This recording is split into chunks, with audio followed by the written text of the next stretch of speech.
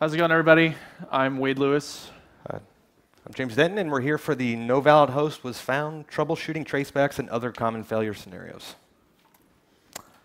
So, as Wade introduced himself already, I'm James Denton, uh, principal architect for the Rackspace private cloud team. Um, Wade Lewis. I am a Rackspace Private Cloud architect as well. Yeah. We, uh, we work in the uh, support team for the, for the product. What we're here to talk about is troubleshooting some common OpenStack issues. That includes tracebacks, uh, some common Nova issues, and common Neutron issues. Um, after the presentation, we will upload these slides to SlideShare at the link you see there. Um, we've got a lot of slides, we've got a lot of ground to cover, so we apologize if we talk a little quickly. Um, but we just want to make sure that we get through everything, and if we have some time, we'll do some Q&A. Great. So uh, I think we all know that OpenStack is a complex system. There's a lot of moving parts with limited visibility to problems via the API. The old adage of turning it off and turning it back on again doesn't really work here anymore. So you'll find yourself uh, in the weeds troubleshooting this stuff on the infrastructure nodes you know, when you have problems. So, what is a traceback? If you're not familiar with OpenStack and you're coming from, say, a vSphere ESX environment, then you may not be too familiar with them. But if you run OpenStack, you've probably seen them before. Basically, um, a traceback or a, sta- stack trace is logged, or it's an output or a log of an exception that was captured during the execution of a program.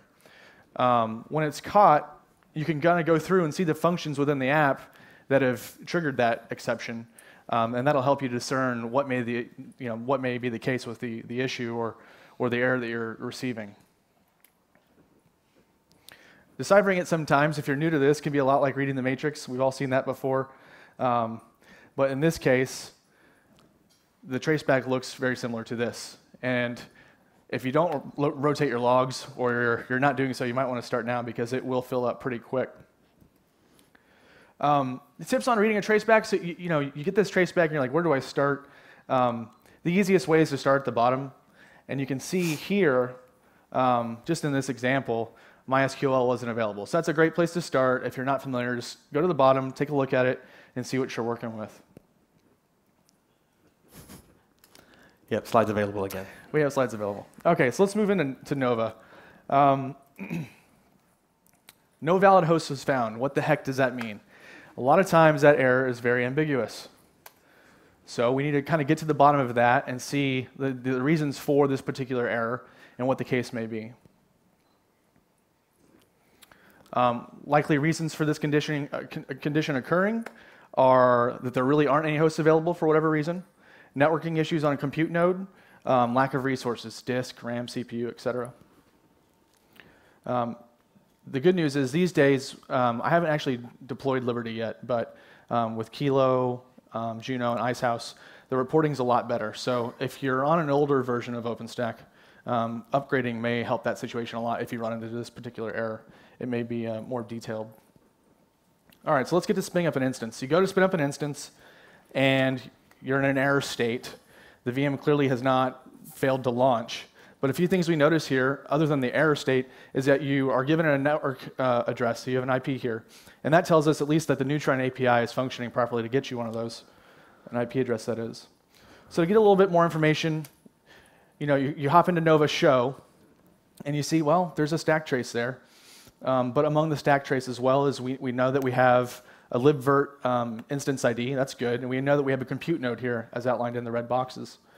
Um, so, that being the case, if you know that it's been scheduled to a compute node, the easiest thing to do is to hop over to the compute node and start taking a look at some of your Nova compute logs and your Neutron agent logs.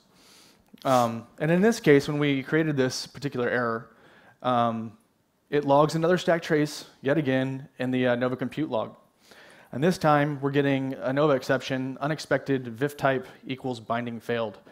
And so if you're a new operator, you're like, I don't, need, I don't know what this means. I've been doing Linux for quite a while, 15, 16 years now, and the first time I saw it was like, okay, not sure what this is. But basically, when Nova creates a virtual machine, uh, it's got to plug each of the virtual network interfaces into a virtual bridge. And the virtual network interface is known as a VIF. Okay, so that's kind of a, a prereq. You may need to know that. You can Google it. Usually that info's out there.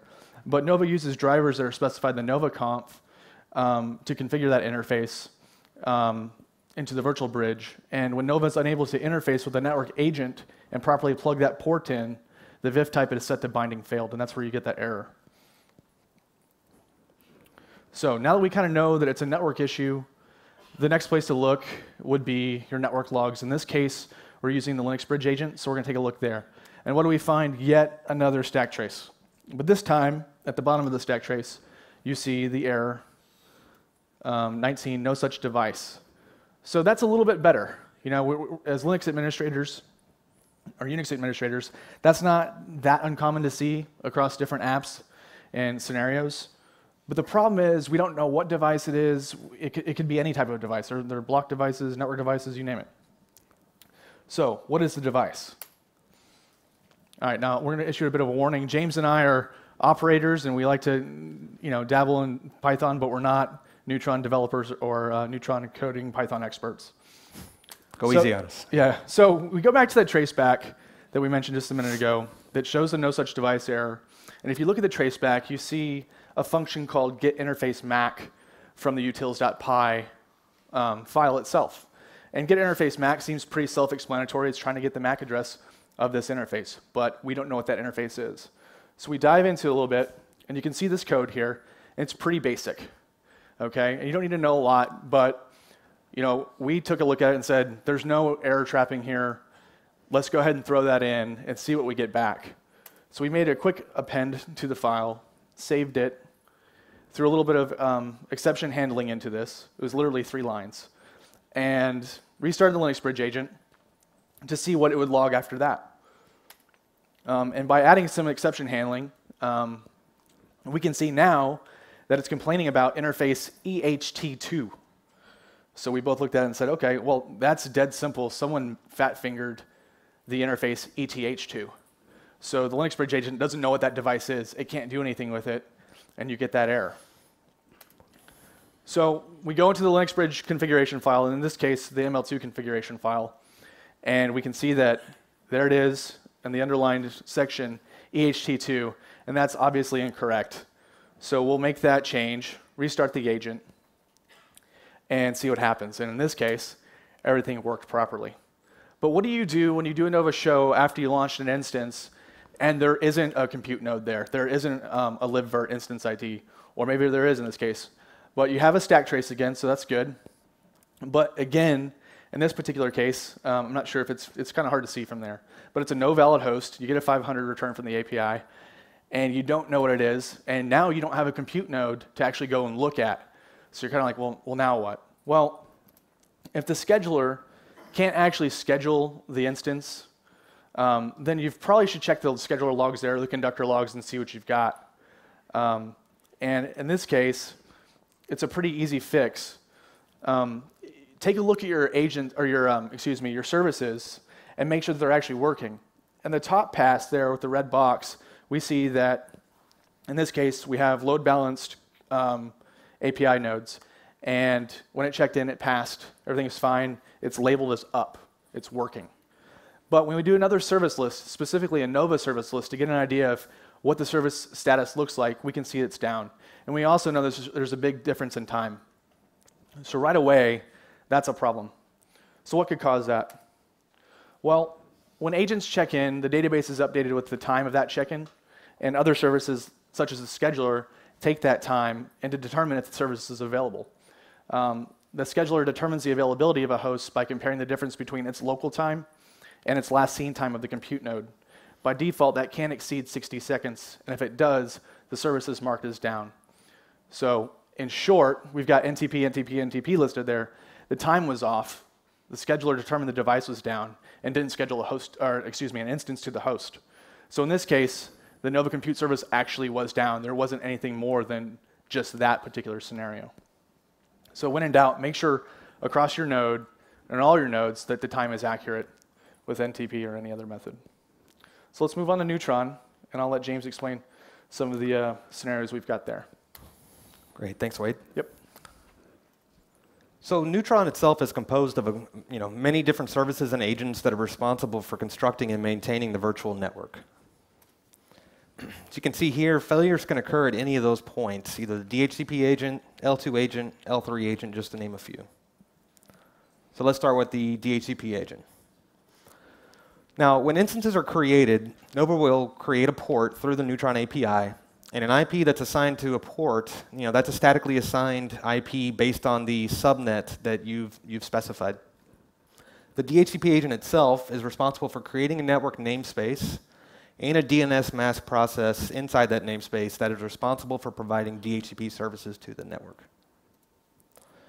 When things, when the agent fails, um, it can result in failures to get, a, get an initial lease or a failure to renew a lease.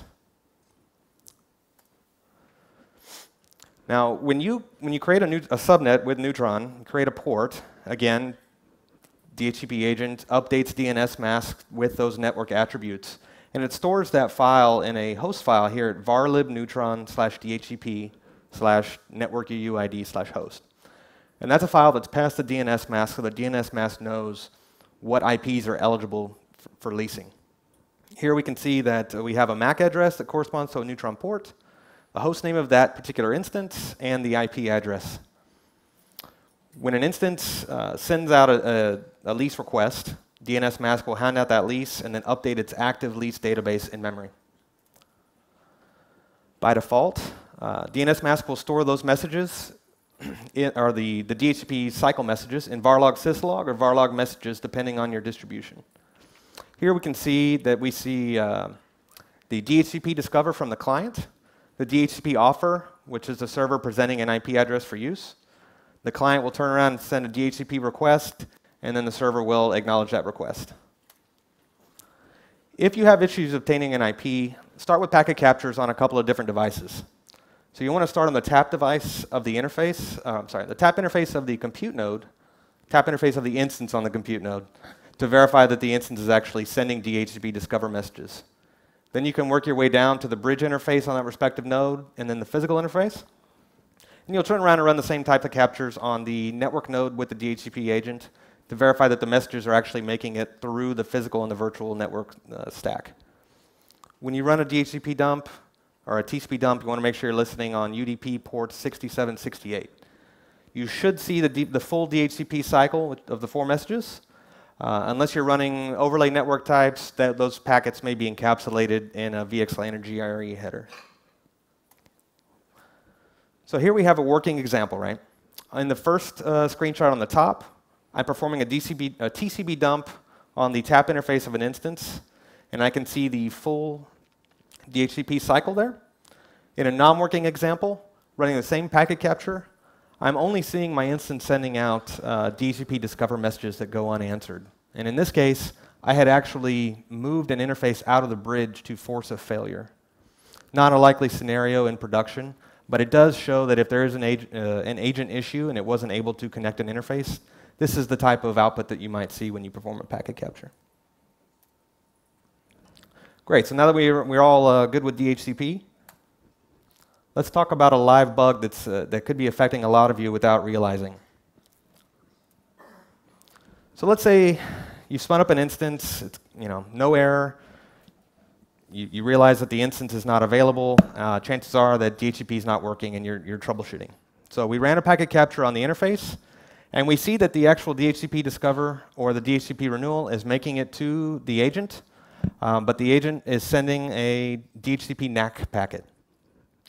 What this likely means is that the DHCP agent was restarted and the active lease uh, database was deleted. So whenever an instance receives a DHCP NAK, it drops its IP off its interface and restarts the entire DHCP lifecycle again, which will likely result in a, a brief, you know, momentary downtime while that happens. This, this issue was addressed in a patch. However, um, there are some effects there when you're running multiple DHCP agents um, that this patch you know, causes some issues with. So the, the patch um, enables a flag for dnsmasq that says uh, DHCP authoritative. It expects one DHCP agent in the network. And when you have more than one, what happens is when a, an instance goes to renew its lease, sends the DHCP renew, uh, I'm sorry, uh, DHCP request packet to broadcast. All the DHCP agents are going to see that packet. The one that originally provided the lease will, uh, will go ahead and renew the lease, and the others will reject it. So what ends up happening Same thing. Instance drops at its IP and it starts the whole process over again. So right now there's a patch in Liberty that should be backported at some point where Neutron will pre-populate the lease database when the DHCP is, uh, agent is started. So just like the host file, where the agent pre-populates the host file so that the, uh, the agent knows what IPs and MACs are available for leases, it does the same thing with the lease database so that you never have to worry about uh, you know, that getting dropped out of memory. All right. So let's talk about some L2 agent issues. The L2 agent was responsible for programming the virtual switching infrastructure and also uh, applying security group rules to, uh, to Neutron ports. A failure of the L2 agent can result in a lack of instance connectivity, security group issues, and an immediate error state during a Nova boot. So when you're troubleshooting some L2 connectivity issues, um, here we have an example of an OVS environment where we have one compute node, one network node, and there's some interfaces there with stars on them. Those are where you're going to want to run your packet captures to make sure that the, the traffic is actually making it through. So we see we, we traverse tap interfaces, QBR bridges, some VETH pairs, integration bridge, so forth, physical switching infrastructure, and then back up through the network node. One thing you want to make sure is that um, in an OVS environment, you have what's called the integration bridge, and all of your tap interfaces for instances and some of your network agents, they're going to plug into this single bridge. Um, when you have different networks, each network gets its own local VLAN ID, and that VLAN ID is specific to that node. You'll see here in the example that um, for a particular port here has a VLAN tag of 2. That VLAN tag of 2 corresponds to some real segmentation ID for a network that was created by a user. And then there are flow rules that exist on the bridge that are going to translate that local VLAN to the physical VLAN or the, the overlay segmentation ID. If, you're, if you ever see a tag missing, um, you'll want to restart the OVS agent on that node because every port in the integration bridge should have a VLAN tag. If you ever see a tag that says 4095, 4095 is what they call a dead VLAN, and it's sort of an error condition for that, that particular port. So in this case, um, I had an instance that was, plugged, that was uh, on a compute node. It was in VLAN 2. It's just the one I just showed you in the last screen.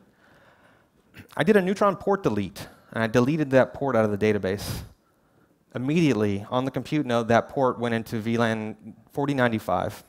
And you can kind of consider that a security mechanism if that instance was still alive on the compute node, still plugged into its bridges, um, but now, because I deleted the port, Neutron has automatically moved it out of that, that local VLAN into a dead VLAN so that there's no jeopardy of any sort of security issues. Some useful commands you'll want to run when you're troubleshooting or just administering OVS is the OVS vsctl show command. It's going to give you a high-level uh, view of the virtual bridges on that node. And it'll also show you the local VLANs particular to that, partic that node. You can run OVS OFCTL dump flows in the bridge name. That's going to actually show you the bridges on, or I'm sorry, the flow rules on that respective bridge that you've specified. And the flow rules are responsible for manipulating traffic and, and help determine how that traffic should be forwarded across the, the network.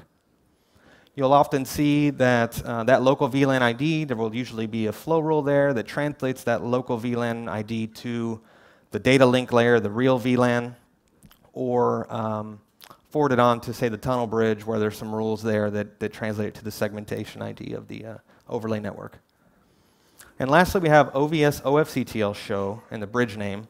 That's going to give you a port level view of the bridge that you've specified. And it shows you the port IDs known by Open vSwitch for every port that's plugged in. You'll also see these port IDs specified um, on, in the flow rules themselves.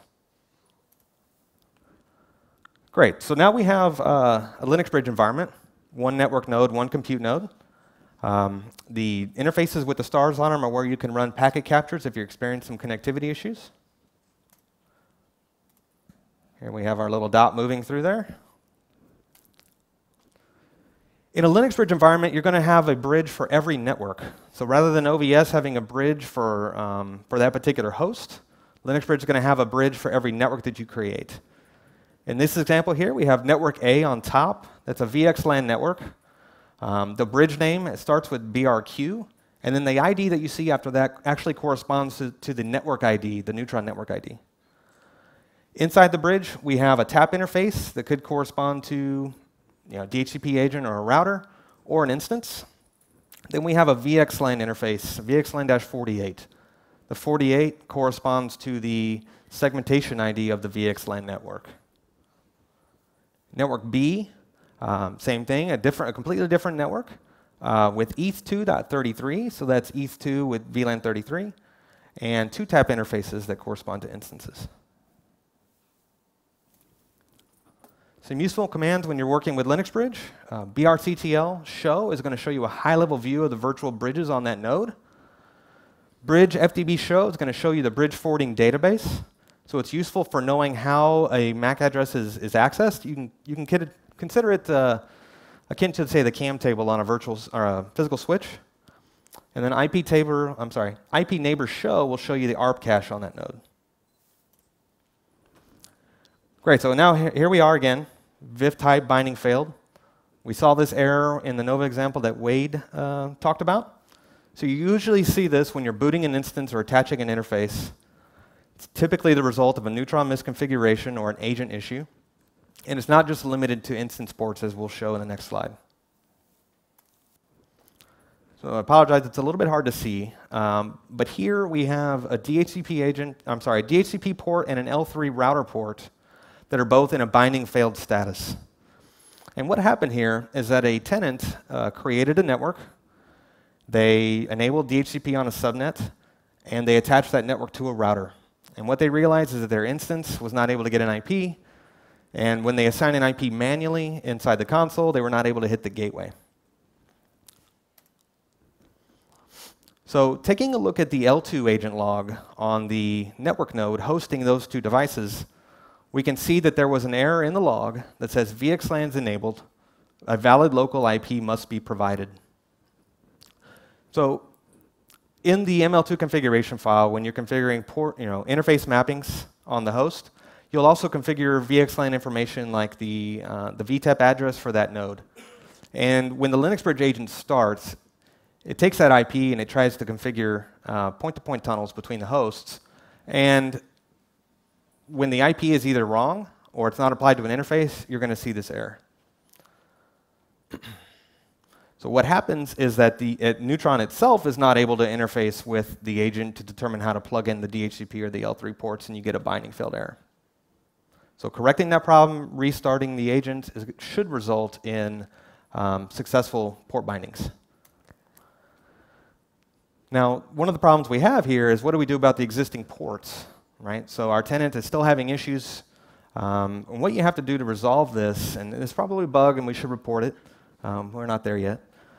But um, to fix a router port, what you would need to do is unschedule the tenant network from the router, or the L3 agent, reschedule the tenant network to the L3 agent, and that in turn is going to create a new port that should bind correctly.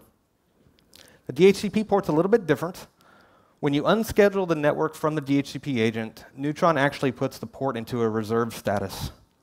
And the reason it does this is if you were ever to unschedule your, D, your network from your agent and it were to delete the port, like it used to, and let's just say that you uh, spun up you know, 1,000 instances and, and, exceeded your, your subnet pool, now if you were to attach or uh, schedule that network back to the agent, there would no longer be any IPs to assign to that DHCP server.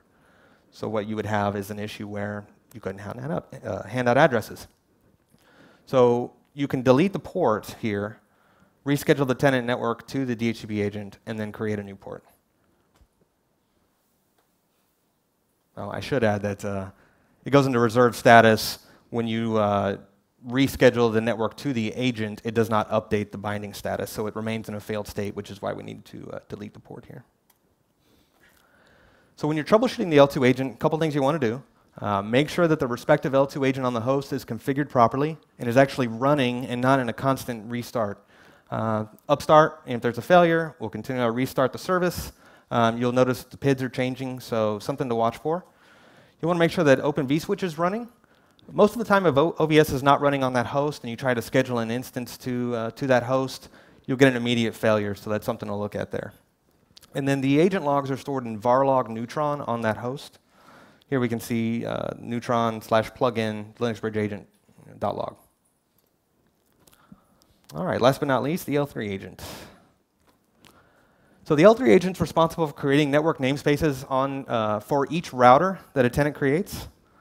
That router in turn provides uh, routing services between tenant networks, and it also provides NAT services to an instance.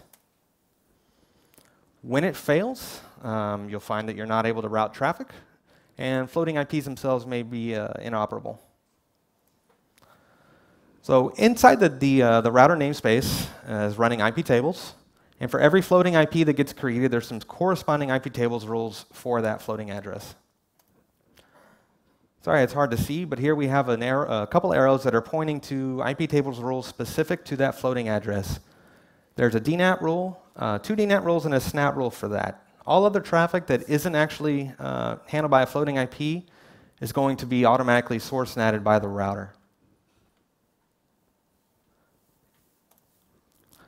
If you have issues with uh, floating IPs not operating properly, you can actually uh, go into the namespace, make sure those rules are there, and if you want to, you can, you can add some by hand just to verify that the, the, uh, the action will work properly. But as soon as you restart the L3 agent, uh, all of those rules will get, will get wiped. So when troubleshooting the L3 agent, you want to make sure that it's actually running again, uh, and you want to make sure that it's configured properly. Um, perform packet captures within the router namespace on the tap interfaces inside the namespace to make sure that traffic that you're trying to reach is actually making it through the virtual switching infrastructure and to the namespace. And if your floating IPs aren't working properly, make sure that the IP tables rules that should exist for that floating IP are actually there. And uh, you can also check the log in varlog neutron to see if there's any you know, stack traces being reported. A little more neutron here. A couple of things you want to be aware of when you're running overlay networks like VXLAN or GRE. Um, if you're running the default Ethernet MTU, which is typically 1500 on your physical switch ports, which in turn is um, usually on the virtual switch ports as well, and you use an overlay like, like VXLAN, there's some headers that are added to, to each packet um, that can cause you to exceed the MTU and that traffic to be silently dropped. So normally this will manifest itself in issues connecting to instances via SSH. And when you enable verbose uh, logging there, you'll see that you, know, you may have the handshake, but in the middle, um, it just hangs. And what you can do is update your subnet to pass DHCP option 26, try dropping the MTU to about 1450, and then rebooting the instance. Um, more than likely, that's going to fix that. Um, if an alternative to lowering the MTU on your instance may be enabling jumbo frames, uh, on the VTEP interfaces of each host and your switch ports. And don't forget security groups too. So I can tell you that um, we've had a, we've troubleshot a lot of issues that turn around and end up being uh, the lack of a security group rule or a, a, misconfigured security group rule. So if you find that the plumbing looks good and you're at your wit's end, you know, try creating a, a um, security group rule and applying it to the port where you can enable connectivity from, say, the, the router namespace or the DHCP agent namespace. Uh, test connectivity with ICMP or something uh, non-impactful there. Some other things that you may only see at scale are race conditions um, caused by you know, a lot of services doing things in parallel. Uh, we used to see this a lot in Havana and Icehouse, uh, but you don't really see it as much in some of the newer releases. Um, there's a case where um, if you spin up, you know, say hundreds of instances um, that you know, Neutron has to go through and set up dnsmasq host files and do these things while Nova's simultaneously spinning up the instances. They're ready, sending DHCP requests. Nova hasn't, or Neutron hasn't caught up. You may come into a condition where your instances have timeout or given up, and you have to reboot them. So, uh, some other problems you may have: some some default system parameters are too low. You may see this in uh, default ARP table sizes where the threshold starts at around 512 ARP entries on a host. If you have a lot of instances on a host, um, you'll find that there you have some connectivity, some random or sporadic connectivity issues. You'll also see this when you're running uh, the L2 population driver with Linux Bridge. Um, what the L2 population driver does is that it pre-populates the forwarding table on, on a host with information about how to reach all of the MAC addresses so that you don't see um, a lot of broadcast packets on the overlay. Um, most notably on a network node, say the L3 agent or the, or the HTTP agent, um, a router that's connected to a couple of networks, a lot of instances, it has to know how to reach all of them. So you will quickly exceed that, that table. Um, and that's a sysctl parameter that you can change on a host. Um, also, if you don't have any disk space available on a node and that service is dependent on writing to a file before actually proceeding, you may prematurely kill a service by running out of disk space. So make sure you, you, uh, you keep an eye on that. And last but not least, you know, syslog is your friend. There's a lot of messages that aren't logged in a Neutron log file um, that are logged in a, a syslog file. So if, you, if you're not finding anything, check your syslog and, and you know, think outside the box. Sometimes an error is, is somewhat nondescript, but it could be completely related. Thanks, James. Yeah. Um, last, we're going to close with some takeaways. Um, the Neutron failures can be traced back mainly to configuration file issues. So have a good look there. Start with just a real basic config if you can, and that should get you back to a running point um, to help you troubleshoot follows fails. Um, yeah, so slide. Yeah. Uh, yeah, problem exists between the keyboard and chair a lot of times. Um, and if you can, you know, obviously you have to get familiar with KVM. The lower level workings of that would be nice. Um, those the libvirt XML files, um, all that type of stuff. Open vSwitch, OVS. I mean, that in itself, just getting familiar with it would be very beneficial, especially when you see stuff like broadcast storms that you know where to look. Uh, Linux bridging and IP tables most certainly are important points to uh, review if you have issues or you're running the Linux bridge agent. Um, also, familiarize, familiarize yourself with the working environment if you can. If you have a dev environment that's working, you can use as a reference. That will pay huge dividends. Turn on debug mode. We haven't mentioned that. If you do, just keep an eye on your logs. They're going to fill up quick. Um, start services by hand.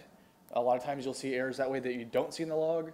Um, reach out to the community and gather as much information as possible before submitting a bug. That way you don't waste your time when it gets rejected, so that it, so that it doesn't get rejected. um, and that's it. Don't be afraid to break stuff. Um, James and I have a ton of experience doing that. So if you have any questions about breaking Neutron or Nova, we'll be available to talk. Thank you very much for your time. Oh, well, uh, sorry, yeah, sorry, I just wanted to add to that a little bit, right? So when we say don't break you know, don't be afraid to break things. Obviously, not production, right? Not production. Um, yeah. But I, am a real big advocate of, of creating lab environments. Uh, VirtualBox is a great place to start if you don't have the resources. Um, get in there. You know, docs.openstack.org is great. They have a lot of different scenarios that'll help you uh, kind of sort of figure things out. Um, when you're breaking stuff, you know, spin up an instance, let it get connected to a bridge, make sure it works, then start pulling interfaces out of bridges and just see what the behavior is, right? Try and create failure scenarios so that you can sort of reverse engineer when you do have failures in production. You know, you know where to look. And then uh, lastly, so Rackspace, um, we're giving away some books here um, during the morning and afternoon breaks. In the morning, they're giving away the OpenStack Cloud Computing Cookbook, the latest third edition. In the afternoon, they're giving away Learning OpenStack Networking, um, the first edition. Um, and then coming soon, uh, at the next summit, we'll have the second edition of the same book. So in there, you know, you'll, you'll learn more or less, you'll get a good foundation on, on what Neutron should look like in a reference architecture with some troubleshooting. So stop by and grab a copy. And if you want the slides, uh, again, after this, uh, sometime this afternoon, we'll try and throw them up on SlideShare. But, you know, looks like we have some time, so we can be at the back of the room to answer any questions that you've got or do our best. Thank you. yeah, thank you.